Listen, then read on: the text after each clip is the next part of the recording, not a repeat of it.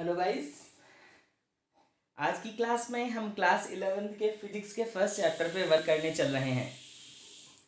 Class eleventh की physics के first chapter में जो कि हम लोगों के पास है फ़िज़िकल वर्ल्ड इस पे हम लोगों को वर्क करना है और ये चीज़ जानना है कि फ़िज़िकल वर्ल्ड में हम किन किन कॉन्सेप्ट्स को लेकर के प्रोसीड कर सकते हैं।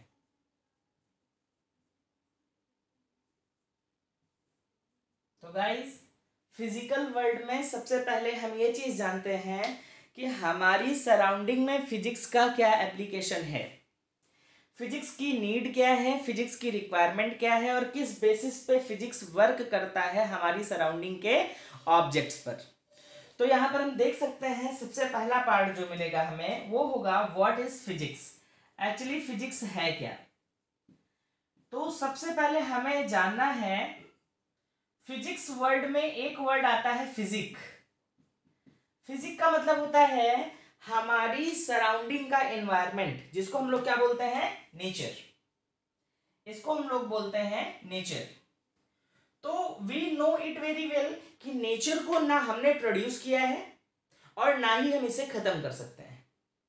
ये ever existing element of our universe है, या ऑफ़ आवर वर्ल्ड है। ये पहले भी बहुत था, हम, हमारी एग्जिस्टेंस के पहले भी था और हमारी एग्जिस्टेंस के बाद भी होगा। अब आपको पता है कि नेचर कोई सिंपल पार्ट नहीं होता है। नेचर बहुत ढेर सारे एलिमेंट्री पार्टिकल्स है। एलिमेंट्री पार्टिकल्स है और इनफाइनाइटली मेनी ऑब्जेक्ट्स के कंबाइंड होने से बनता है।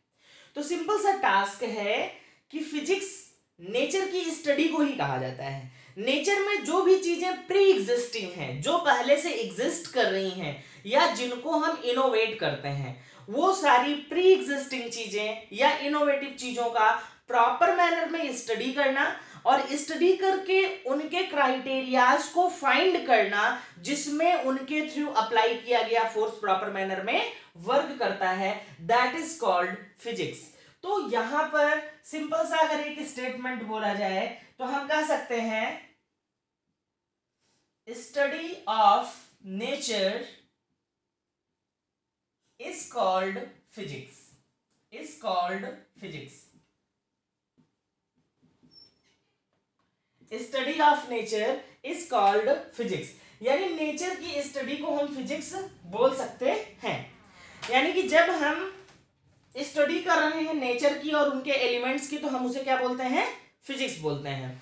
तो यहाँ पर आपको जो पार्ट बताया जा रहा है, उसमें हमें इसी के अंडर में वर्क करना है। हमें इन चीज़ों को जानना है कि ये किस बेसिस पे वर्क करेंगे और इनका प्रोसीजर क्या होगा किसी चीज़ पे वर्क करने का। तो यहाँ पर देखिए study of nature is called physics अब अगर हम आगे चलते हैं तो इनके कुछ क्राइटेरियाज मिलते हैं, ठीक है? या फिर इनको अदर वर्ड्स में अगर हम बोलना चाहें तो हम ये बोल सकते हैं कि physics is a science whose objective to study the components of matter and their mutual interaction. यानी कि नेचर में एग्जिस्ट करने वाले मैटर और उनके म्यूचुअल इंटरेक्शंस की स्टडी हम जिस ब्रांच में करते हैं साइंस के दैट इज़ कॉल्ड फिजिक्स यानी किसी भी स्पेसिफिक मैटर का, जो हमारे नेचर में एग्जिस्ट कर रहा है। एग्जिस्टेंस को चेक करना और उनके पार्टिकल्स के बीच के म्यूचुअल इंटरेक्शन को जज करना। वो हम किसमें करते हैं? फिजिक्स में करते हैं। अब देखिए फिजिक्स के कुछ स्पेसिफिक पार्ट्स होते हैं। ये पार्ट्स क्या है? हम इस पर प्रॉपर मैनर में वर्क करेंगे। देखिए। अब देखिए, हमने बताया कि किसी भी मैटर में जो पार्टिकल्स होते हैं, उन पार्टिकल्स के इंटरेक्शंस को पार्टिकल्स के इंटरेक्शंस को लेकर चलने वाले पार्ट को हम लोग जिसमें चेक करते हैं, वही क्या होता है आपका? फिजिक्स होता है। तो अब देखिए, यहाँ पर आपको कुछ इसके फिक्स टर्म्स दिए जा रहे हैं। उन टर्म्स को हम जल्दी जल्दी समझ लेते हैं। फ़र्स्ट टर्म बच्चों है आपका इंटरेक्शन क्या है? Interaction inter action interaction word जो बना हुआ है वो इंटर एक्शन से मिलकर के इंटर का मतलब होता है इन बिटवीन इंटर का मतलब होता है इन बिटवीन और एक्शन का मतलब होता है वर्किंग यानी किन्हीं टू ऑब्जेक्ट्स के बीच में जो स्पेसिफिक फोर्स वर्क कर रहा है that is called the interaction force ठीक है? या फिर आप कह सकते हैं कि किसी एक ऑब्जेक्ट के रीजन से उसके क्राइटेरिया में दूसरे ऑब्जेक्ट पे जो फोर्स लगेगा। किसी एक ऑब्जेक्ट के रीजन से उसकी क्राइटेरिया में, हर एक ऑब्जेक्ट का एक क्राइटेरिया है। ऐसा तो है नहीं कि हम यहाँ पर बैठे हुए हैं और किसी दूसरे स्कूल में, किसी दूसरी क्लास के बच्चे को गवर्न कर लेंगे। हम जिस क्लास में हैं, उसी स्पेसिफिक क्लास के बच्चे को गवर्न कर सकते हैं। तो सिंपल सा टास्क किसी पार्टिकल की सराउंडिंग का एक फिक्स रीजन जिसमें वो दूसरे पार्टिकल को अपने फोर्स से अफेक्ट कर सकता है that is known as interaction तो बच्चों, ये फ़र्स्ट पार्ट रहा आपका इंट्रैक्शन का। अगर हम सेकंड पार्ट की बात करते हैं तो सेकंड होता है फ़ील्ड एंड फोर्स फ़ील्ड का मतलब द क्राइटेरिया अभी हमने बताया ना इंटरेक्शन का मतलब क्या था? उसकी फ़ील्ड में जो फोर्स वर्क करेगा, उसी को इंट्रैक्शन बोलते हैं। अब यहाँ पर फ़ील्ड बताया गया। फ़ील्ड क्या है? फ़ील्ड फ़ील्ड का मतलब यह हुआ कि वो स्पेसिफिक रीजन जिसमें उसकी वर्किंग एबिलिटी वर्क कर रही है या फिर इंट्रैक्शन फोर्स वर्क कर रहा है इंटरेक्टिंग नेचर वर्क कर रहा है, उसे हम लोग फ़ील्ड बोलते हैं। और फोर्स की बात फोर्स का मतलब होता है sorry guys any type of push और पुल यानी अगर किसी रीजन में किसी तरीके का पुश और पुल अप्लाई हो रहा है तो उसे हम लोग फोर्स बोलेंगे। और एक फिक्स रीजन जो होगा, उसे ही हम लोग क्या बोलेंगे? फ़ील्ड इसके बाद हमारे पास होता है physical law what is mean by the physical law physical law किसी भी जनरल फेनोमेना को एक्सप्लेन करने के लिए हमारे पास एक एक फिक्स रूटीन लैंग्वेज होती है। उसी को हम लोग बोलते हैं फ़िज़िकल लॉ यानी सराउंडिंग के ऑब्जेक्ट के वर्किंग पैटर्न को एक्सप्लेन करने के लिए कुछ सब्सिक्वेंटरी वर्ड्स का कलेक्शन होता है, जो उसके वर्किंग पैटर्न को एक्सप्लेन करता है सॉल्टेस्ट लैंग्वेज में। या फिर हम कह सकते हैं उसकी फिजिक को, या उनके पार्टिकल्स के इंटरेक्टिंग बिहेवियर के नेचर को एक्सप्लेन करेगा। उसी को हम बोलते हैं फ़िज़िकल लॉ फ़िज़िकल का मतलब किसी ऑब्जेक्ट की फिजिक शेप साइज़ के वर्किंग बिहेवियर को एक्सप्लेन करने का जो प्रोसीजर होता है that is called the physical law इसके बाद हम लोगों के पास होता है फैक्ट। फैक्ट। फैक्ट क्या है? फैक्ट बहुत ही इंपॉर्टेंट चीज़ होता है। इसी फैक्ट के रीजन से किसी ऑब्जेक्ट पे हम कैलकुलेशन स्टार्ट करते हैं। या फिर कह सकते हैं, इसी फैक्ट के रीजन से हम वर्क करना स्टार्ट करते हैं और उस ऑब्जेक्ट की डेप्थ तक जाते हैं। और इसी फैक्ट की हेल्प से हम principle rule theory and hypothesis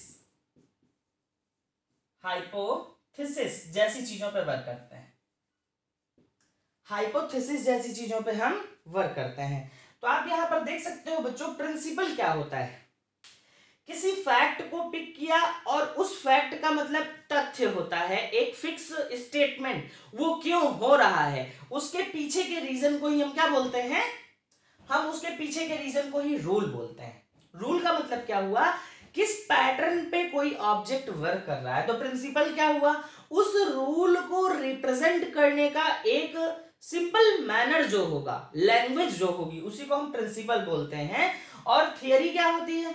theory का मतलब होता है एक मैथमेटिकल इंटरप्रिटेशन जो उस स्पेसिफिक फैक्ट के बिहेवियर को रिप्रेजेंट कर रहा है। तो फिर से देखते हैं, किसी स्पेसिफिक वर्क के लिए। सबसे पहले आपको क्या मिलेगा? रूल कि, किस बेसिस पे वो वर्क कर रहा है? आफ्टर दैट उसको हम एक फिक्स लैंग्वेज में कलेक्ट करेंगे, जिससे वो एक मीनिंगफुल सेंटेंस को रिप्रेजेंट करे। फिर मैथमेटिकली उसे प्रूव करेंगे। और मैथमेटिकली प्रूव करने के लिए हम हाइपोथेसिस को यूटिलाइज करते हैं। हाइपोथेसिस जो होता है, वो एक सपोर्टिंग स्टेटमेंट होता है किसी भी प्रिंसिपल के लिए, जिसको प्रैक्टिकली प्रूव तो नहीं किया जा सकता है। प्रैक्टिकली प्रूव तो नहीं किया जा सकता है बट श्योरली उसका रिप्रेजेंटेशन किसी दूसरे की एग्जिस्टेंस को बढ़ा देता है।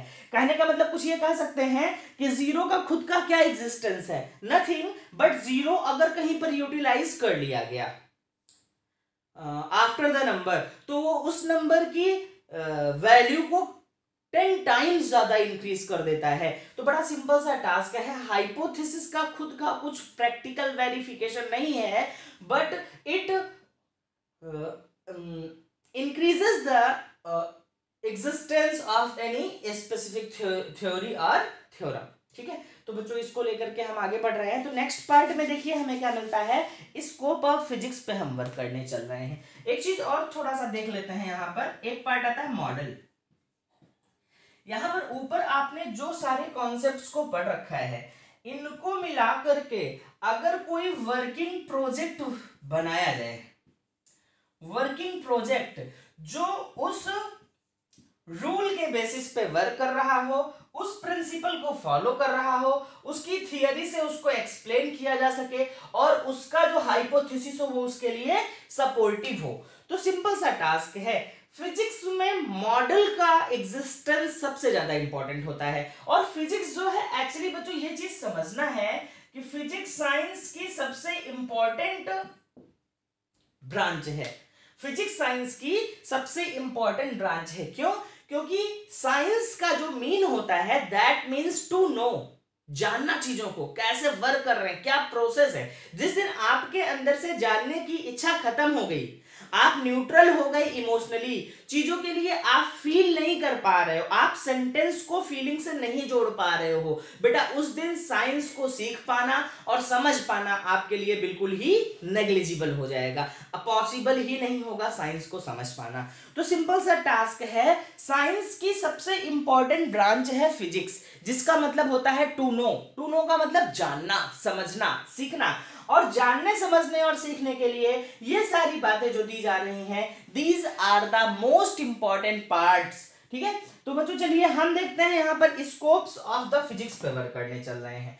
यहाँ पर आपने इंट्रैक्शन देखा फ़ील्ड एंड फोर्सेस देखे फ़िज़िकल लॉज देखे। उन फ़िज़िकल लॉज को जिन फैक्ट्स के बेसिस पे एक्सप्लेन करते हैं फैक्ट्स के सपोर्टिंग रोल मॉडल्स जो होते हैं, और इन सभी को मिलाकर के जो मॉडल हम रिप्रेजेंट कर सकते हैं, उस स्पेसिफिक फेनोमेना को दिखाने के लिए शो करने के लिए that is called the physics तो ये पूरा का पूरा आपका फिजिक्स का प्रॉपर मैनर में एक्सप्लेनेशन रहा। Now we have to move on the scopes of the physics तो बच्चों देखो स्कोप्स ऑफ़ द फिजिक्स को अगर आप समझते हो तो स्कोप्स का मतलब होता है कि फिजिक्स का कहाँ कहाँ पर किस तरीके से यूटिलाइजेशन किया जाता है। तो इसे हम लोग दो तरीके से बेटा डिवाइड करते हैं, जो हमें इस क्लास में पढ़ना है। फ़र्स्ट पार्ट हमारे पास होता है classical physics classical physics classical physics का मतलब एक पुराना पैटर्न जो चला आ रहा है ट्रेडिशन चला आ रहा है उन्हीं ट्रेडिशंस के बेसिस पे हमने लॉस को पिक किया। कुछ लॉज जो हैं वो सिक्स सिक्सटीन सेंचुरी के हैं कुछ लॉज जो हैं वो फोर्टीन सेंचुरी के हैं उन्हीं ट्रेडिशनल लॉज को पिक करके हमने आ, उन चीज़ों को एक्सप्लेन कर दिया। Those are called the classical physics और बेटा इसके बाद हमारे पास जो आ जाएगा वो होता है मॉडर्न फिजिक्स तो पहले हम क्लासिकल फिजिक्स की मेन ब्रांचेस पे वर्क कर लेते हैं. क्लासिकल फिजिक्स की फ़र्स्ट ब्रांच होती है मैकेनिक्स तो मैकेनिक्स में आपको समझना है ये क्या है. एक्चुअली मैकेनिक्स जो होती है मैकेनिक्स का मतलब होता है बच्चों कि आ, ये सबसे पुरानी ब्रांच है फिजिक्स की जो कुछ फिक्स लॉज के साथ डील की जाती है। कहने का मतलब हम ये कह सकते हैं कि हमारे पास जो भी स्पेसिफिक लॉज होते हैं, उन लॉज का जो स्टडी किया जाता है, उनका वर्किंग प्रोसेस है। हम कह सकते हैं कि डेली लाइफ में जो एप्लीकेशन है all those things are studied under the mechanics उन सभी चीज़ों को हम मैकेनिक्स के अंदर ही पढ़ते हैं और ये फिजिक्स की ओल्डेस्ट ब्रांच है। ये फिजिक्स की ओल्डेस्ट ब्रांच है। यहाँ पर बच्चों आप देख सकते हो कि आप इनर्शिया के बारे में पढ़ते हो। आप मोमेंटम के बारे में पढ़ते हो। आप इंपल्स के बारे में पढ़ते हो। आप फोर्सेस के बारे में पढ़ते हो। ये सारी चीज़ें जो हैं, इन सभी के वर्किंग प्रोसीजर को ही बेटा हम लोग क्या बोलते हैं? मैकेनिक्स बोलते हैं। मैकेनिक्स में आपको बताया जाता है कि इसमें हम उन प्रॉपर्टीज़ पे वर्क करते हैं सॉलिड्स और फ्लूइड्स के, जो कॉन्टिन्यूसली किसी पार्टिकल के कॉन्स्टिट्यूटिंग मटेरियल्स के फॉर्म में वर्क कर रही है। कहने का मतलब कुछ ये रहा बच्चों आपके लिए कि ये पार्ट्स तो एग्जिस्ट करेंगे ही करेंगे, लेकिन ये किन में वर्क करेंगे? किसी स्पेसिफिक ऑब्जेक्ट में। और ऑब्जेक्ट क्या होगा आपका? सॉलिड लिक्विड और गैस। और ये किन से बने हुए हैं? पार्टिकल्स से मिलकर के बने हुए हैं। किन से बने हुए हैं? पार्टिकल्स से। और इनके पार्टिकल्स के बीच में क्या होगा एक तरीके का? इंटरेक्शन होगा। क्या होगा बच्चों? इंटरेक्शन होगा। और इन इंटरेक्शंस के बेसिस पे कुछ फिक्स बिहेवियर्स हो किए जाएँगे। बिहेवियर्स हो किए जाएँगे। और उसी को हम क्या बोलते हैं बेटा? उन्हीं की स्टडी का प्रोसीजर जो होता है that is called the mechanics तो यहाँ पर आपको जो बताया जा रहा है the oldest and most basic branch of the physics in which we studied about the inertia momentum impulse and forces like factors और इसमें डिफरेंट ऑब्जेक्ट्स के पार्टिकल्स के इंट्रैक्शन के बेसिस पे जनरेट बिहेवियर्स की स्टडी की जाती है। अगर हम सेकंड की बात करते हैं तो हमारे पास होता है heat and thermodynamics heat and thermodynamics बच्चों, इसमें क्या होता है? हीट एंड थर्मोडाइनमिक्स में हम वर्क करते हैं all the phenomena which related to the temperature all the phenomena which relates to the temperature. Temperature से रिलेट करने वाले किसी भी फेनोमेना को हम उसमें रिप्रेजेंटेट करते हैं। इसमें, इसके बाद आपके पास आता है साउंड साउंड को बच्चों हम लोग अकास्टिक भी बोलते हैं। तो यहाँ पर हम देख सकते हैं अकास्टिक्स का मतलब क्या होता है?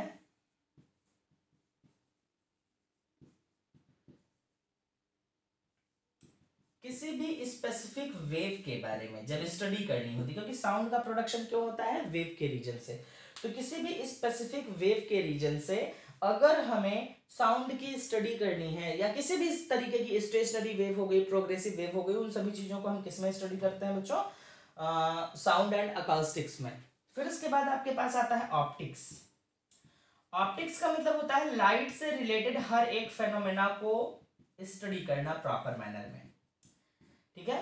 लाइट से रिलेटेड हर एक फेनोमेना को प्रॉपर मैनर में स्टडी करना इज़ नोन एज ऑप्टिक्स इसके बाद आपके पास इसकी जो लास्ट ब्रांच होती है दैट इज़ इलेक्ट्रोमैग्नेटिज्म इलेक्ट्रोमैग्नेटिज्म देखिए, यहाँ पर इलेक्ट्रिसिटी भी होगी मैग्नेटिज्म भी होगा इलेक्ट्रोमैग्नेटिज्म भी होगा। कहने का मतलब किसी भी मूविंग चार्ज की स्टडी किसी भी मैग्नेट के रीजन से जेनरेटेड डिफरेंट पार्ट्स की स्टडी को हम लोग इलेक्ट्रोमैग्नेटिज्म में लेकर के चलते हैं। But all these things are basically based on the initial theories initial practical knowledge जो आज से कई सौ साल पहले दिए गए हैं। चाहे वो अरेस्टोटल के थ्रू प्रोवाइड किया गया हो, चाहे मिस्टर गैलीलियो के थ्रू प्रोवाइड किया गया हो, या फिर अल्बर्ट आइंस्टाइन के थ्रू प्रोवाइड किया गया हो, या हाइगेंस के थ्रू प्रोवाइड किया गया हो, या न्यूटन्स के थ्रू प्रोवाइड किया गया हो तो जो भी रूल्स ऐसे हैं जो बहुत पुराने साइंटिफिक बिहेवियर से या किसी फिक्स ऐसे लॉ से बिलोंग करते हैं, जो ट्रेडिशनल में आते हैं तो उनको हम लोग क्लासिकल फिजिक्स में पढ़ते हैं। तो बच्चों, यहाँ पर ये आपकी क्लासिकल फिजिक्स रही। अब उसके बाद आपके पास आती है फिजिक्स की दूसरी branch that is known as modern physics अब मॉडर्न फिजिक्स में देखिए क्या होता है। मॉडर्न फिजिक्स में आपको उन सभी चीज़ों के बारे में पढ़ना होता है। उन सभी चीज़ों के बारे में जो मॉडर्न कॉन्सेप्ट पे वर्क कर रहे हैं। मॉडर्न कॉन्सेप्ट का मतलब क्या होता है बच्चों? तो सबसे पहले हम इस चीज़ को देखते हैं।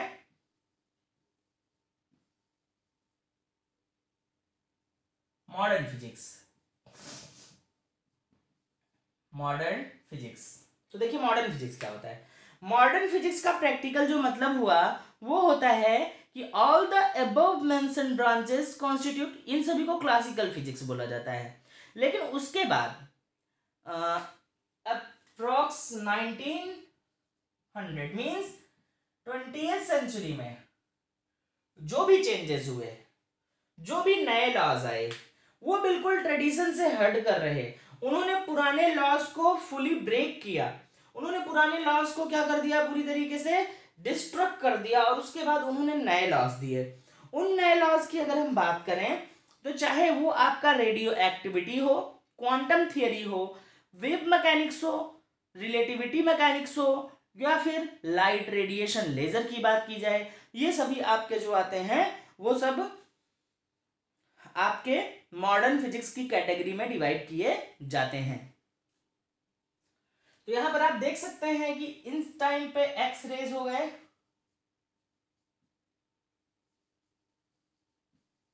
थियरी ऑफ़ रिलेटिविटी हो गई।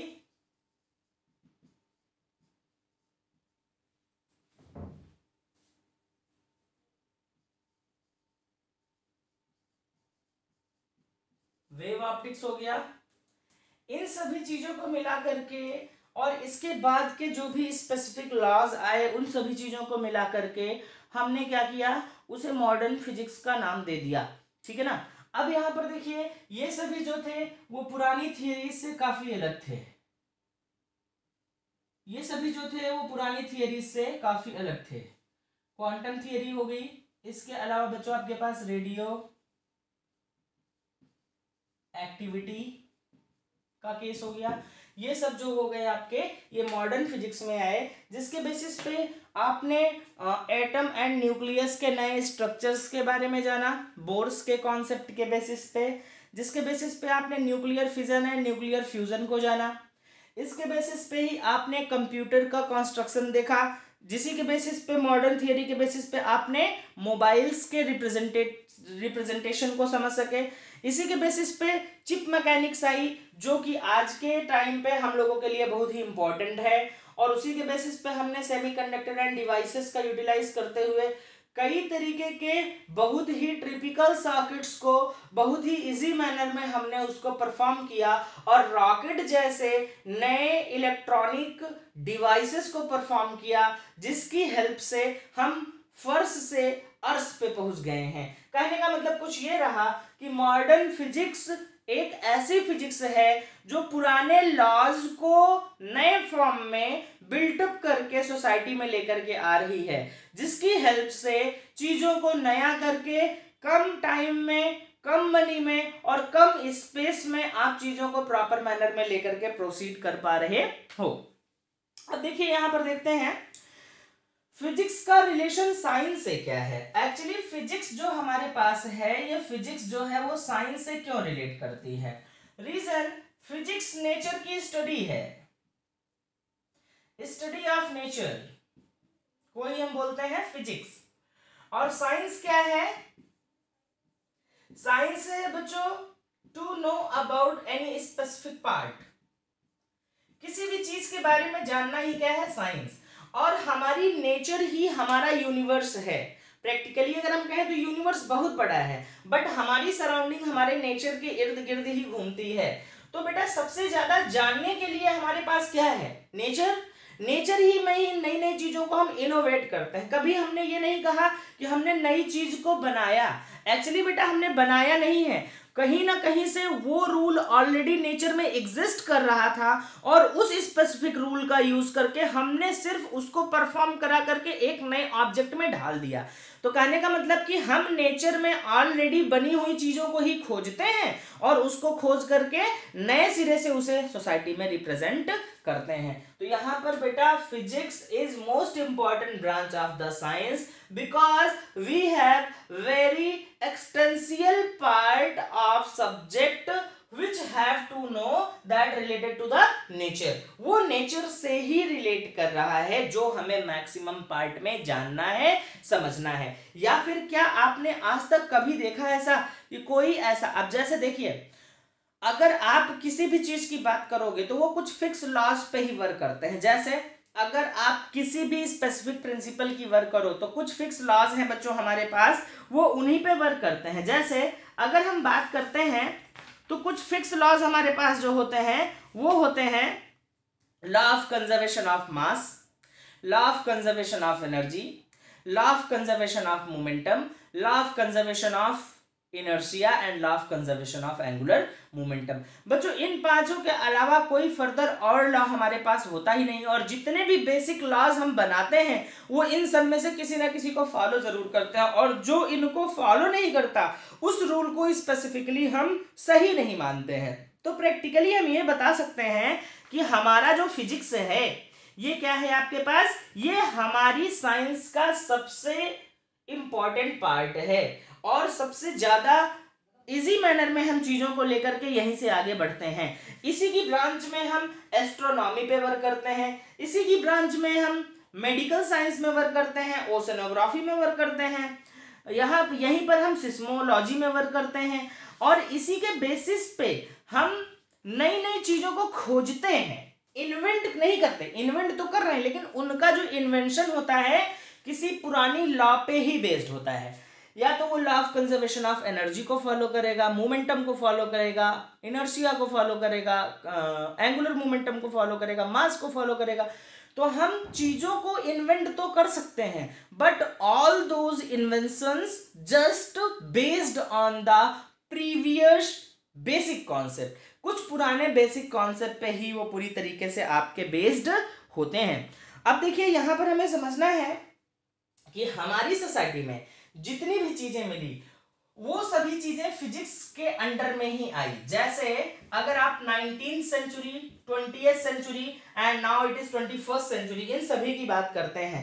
तो इन सभी में अगर आप बात करोगे तो आप देख सकते हो कि जो भी एनर्जीज हैं, चाहे वो एरोप्लेन्स में यूटिलाइज की जा रही हो इलेक्ट्रिक पावर्स हों, या फिर आपके रेडियो एंड टेलीविज़न हो न्यूक्लियर एनर्जीज हो, या entire electronic and computer devices हो इन सभी चीज़ों को फिजिक्स के मॉडर्न ब्रांच में ही रखा गया है because all these things are developed at the end of nineteen century या in between the twenty century या in the beginning part of the twenty first century तो इन चीज़ों को प्रॉपर मैनर में हम वहीं से कंसीडर करते हैं बच्चों, ठीक है?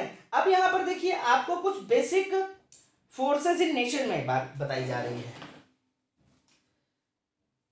तो अगर आप बात करते हो फोर्सेस इन नेचर की तो आपके पास ओवरऑल फोर फोर्सेस होते हैं इन नेचर अब इन सभी को समझना और जानना ज़रूरी है। अगर आप इनके इंक्रीजिंग और डिक्रीजिंग ऑर्डर की बात करते हो तो इंक्रीजिंग एंड डिक्रीजिंग ऑर्डर में आप इस चीज़ को समझ सकते हो कि जो भी आपके ये फोर्सेस दिए जा रहे हैं, वो किस बेसिस पे सेटल्ड होते हैं और इनका प्रोसीजर क्या होता है एक फिक्स पैटर्न में कन्वर्ट करने का। तो सबसे पहले अगर आप देखोगे तो सबसे पहले आपके पास जो होता है, वो होता है सबसे स्ट्रांग फोर्स आपके पास जो होता है बच्चों, वो होता है स्ट्रांग न्यूक्लियर फोर्स सबसे स्ट्रांग फोर्स आप लोगों के पास होता है strong nuclear force strong nuclear force के बाद आपके पास होता है इलेक्ट्रोमैग्नेटिक फोर्स और फिर होता है आपके पास बच्चों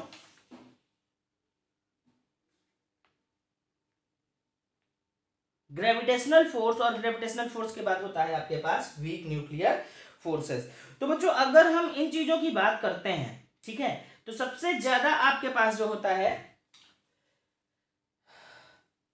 strong nuclear force strong nuclear force जो होता है बेटा, वो न्यूक्लियस के अंदर ही वर्क करेगा. वो न्यूक्लियस के अंदर ही वर्क करेगा और जिसकी रेंज होगी ten to power minus fifteen यानी फर्मियन की रेंज में फर्मी की रेंज में ही ये वर्क करेगा। ये जो वर्क करता है, वो प्रोटॉन प्रोटॉन के बीच में वर्क कर सकता है न्यूट्रॉन न्यूट्रॉन के बीच में वर्क कर सकता है, या फिर न्यूट्रॉन और प्रोटॉन के बीच में वर्क कर सकता है। बच्चों, जो आपके ये न्यूक्लियॉन्स होते हैं, इन न्यूक्लियॉन्स को हम बोलते हैं क्वार्क क्या बोलते हैं? क्वार्क इसीलिए हम इनको क्वार्क क्वार्क इंटरेक्शन फोर्स भी बोल सकते हैं क्वार्क क्वार्क इंटरेक्शन फोर्स भी बोल सकते हैं। स्ट्रॉन्ग न्यूक्लियर फोर्स के बाद बच्चों, आपके पास सेकंड होता है electromagnetic force electro magnetic force electromagnetic force होता है किसी चार्ज के मूवमेंट के रीजन से आपका ये फोर्स जो होता है, वो जनरेट होता है।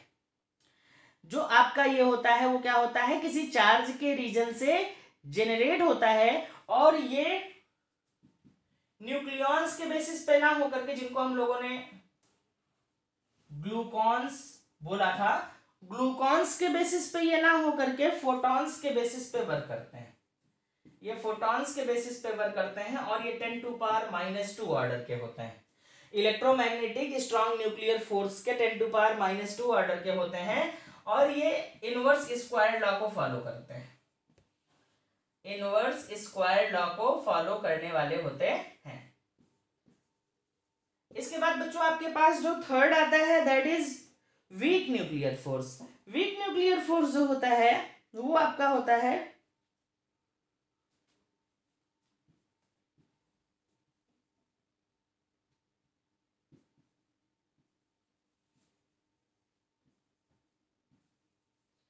वीक न्यूक्लियर फोर्स बच्चों, आपका जो होता है वो ten to power minus nine times इस ऑर्डर का होता है in comparison to the nuclear forces और ये जो फोर्स होता है बच्चों, वो आपका इंटरमीडिएट वेक्टर बोसोन्स के रीजन से होता है. यानी आप कह सकते हैं कि जो आपके न्यूक्लियस के फर्दर बेसिक पार्टिकल्स होते हैं, उनके बेसिस पे ये वर्क करता है, जिसको हम लोग बोलते हैं intermediate vector bosons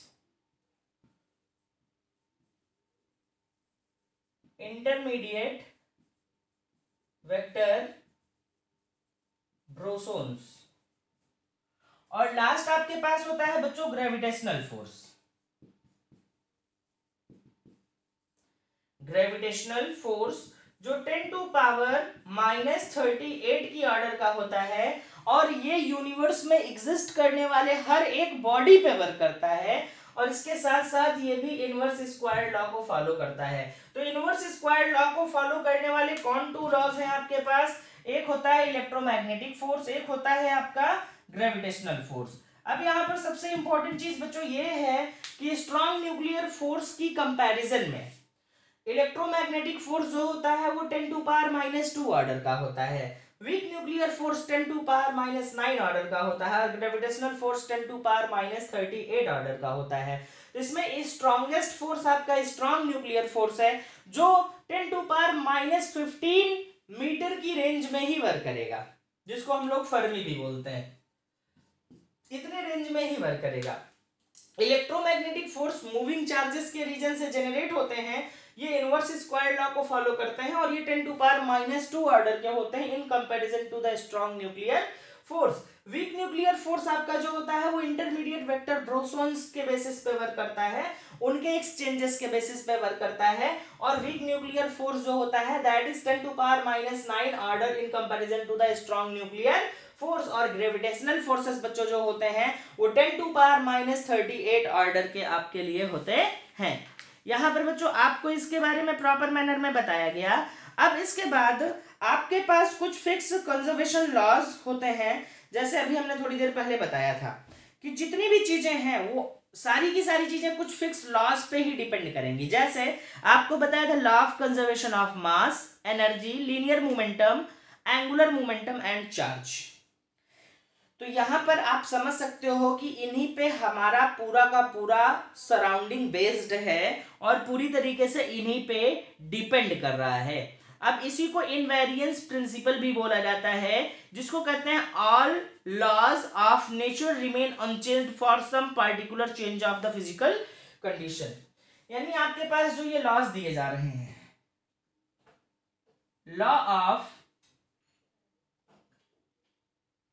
conservation of mass law of conservation of energy